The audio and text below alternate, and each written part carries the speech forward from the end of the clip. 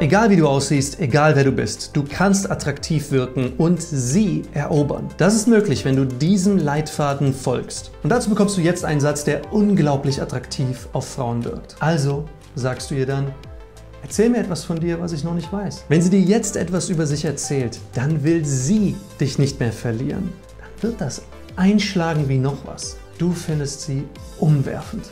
Aber du bist noch nicht ganz von ihrem Charakter überzeugt. Und ohne hier ein großes Tamtam draus zu machen, diese geheime Zutat ist, wenn du wählerisch bist. So wie er, er, er und er es erfolgreich gemacht hat und sie darum mit ihm zusammen sein wollte. Wechsle von der Informationsebene in die Persönlichkeitsebene. Information ist alles, was langweilig ist. Alles, was irgendwelche rationalen Zahlen, Daten, Fakten mit sich trägt, die wir zwar meinen, wissen zu müssen, um Smalltalk zu betreiben, aber wirklich keinen emotionalen Mehrwert bringen. Die Persönlichkeitsebene ist die Ebene, auf der wir uns kennenlernen können. Aber die Persönlichkeitsebene ist die Ebene, in der es knistert, ist dort, wo Gefühle sich übertragen werden, weil ihr euch aufgrund eurer Persönlichkeit kennenlernt. Stelle ihr in einem Nebensatz eine Frage über sie selber. Etwas, das ihre Werte überprüft. Zum Beispiel, wenn dir wichtig ist, dass sie ein großzügiger Mensch ist oder dass sie für ihre Freunde gerne mal einen Gedanken weiterspinnt,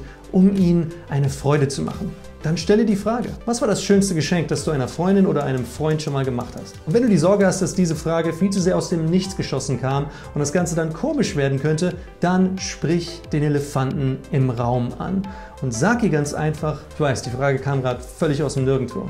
Ja, keine Ahnung, interessiert mich einfach. Was war denn das schönste Geschenk? Sie darf sich dann ruhig etwas ins Zeug legen. Vielleicht sogar mehr als du. Eben damit sie denkt, okay, der Kerl, der ist irgendwie anders wenn ich hier einen Fehler mache und das Falsche sage, dann oh, dann habe ich das Gefühl, dann wird er mich nicht mehr mögen. Und sie denkt dann, ich muss mich für ihn ins Zeug legen. Das Ziel ist nicht, dass du die Frau am Arbeitsplatz eroberst. Das Ziel ist, dass du Frauen grundsätzlich mehr auf Augenhöhe begegnest. Du bist nicht schlechter als sie, sie sind nicht heiliger als du. Frauen sind wunderschön. Sie sind ein Geschenk. Aber das bist du ebenfalls. Und nicht jede Frau erfüllt bestimmte Bedingungen für eine Beziehung. Schweige denn dafür, dass du sie überhaupt noch mal sehen willst. Also stell ihr Fragen, um ihre Werte herauszufiltern. Ich bekomme immer wieder positive Resonanz für unsere Podcast-Folgen, wo wir genau darüber noch viel mehr ins Detail gehen. Also wenn du noch viel mehr konkrete Tipps haben möchtest, dann hör dir doch mal oder schau dir diese Podcast-Folgen hier an. Du darfst Frauen schamlos verehren. Erst recht, wenn du dich mit ihr auf ein Date verabredet hast. Dann darfst du ihr auf dem Date auch sagen, dass du sie wunderschön findest. Vielleicht sogar, dass sie in diesem Moment für dich die schönste Frau auf der Welt ist. Ja, auf einem Date zum Beispiel, wenn der Moment sich gut anfühlt, dann darfst du ihr einfach so sagen, jetzt gerade bist du die wunderschönste Frau auf der Welt für mich. Ja, vielleicht nicht morgen, vielleicht nicht irgendwann, wenn du mich verlassen hast und mit einem anderen Mann glücklich bist. Aber jetzt gerade will ich nirgendwo anders sein als bei dir. Gerade hier. Und nein, nein, es kommt nicht bedürftig rüber, weil ich gesagt habe, dass sie mich irgendwann verlassen wird. Nein, du hast gesehen, dass es mir egal war, dass ich völlig okay damit wäre, wenn sie mich verlässt. Genau das ist attraktiv. Sie weiß, dass du sie begehrst, aber sie weiß auch, dass sie dich noch nicht in der Tasche hat. So, jeder Mann hat diese Fähigkeit. Völlig egal, ob groß, klein, Angestellter oder Chef. Du kannst das auch lernen. Hier ist eine kleine Wahrheit.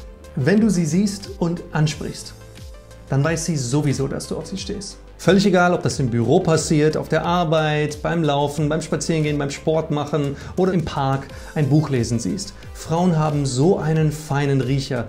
Die wissen ganz genau, was deine Agenda ist. Auch wenn du sie fragst, hey, äh, wo geht's denn hier zum nächsten Café? Oder hast du mal die Uhrzeit? Oder im Büro, na, wie waren die Quartalszahlen? Dann weiß sie, dass du sie magst. Sie ist nicht bescheuert. Also wenn du das versteckst, wenn du versuchst zu verheimlichen, dass du auf sie stehst, dann wird das Ganze einfach nur hinausgezögert.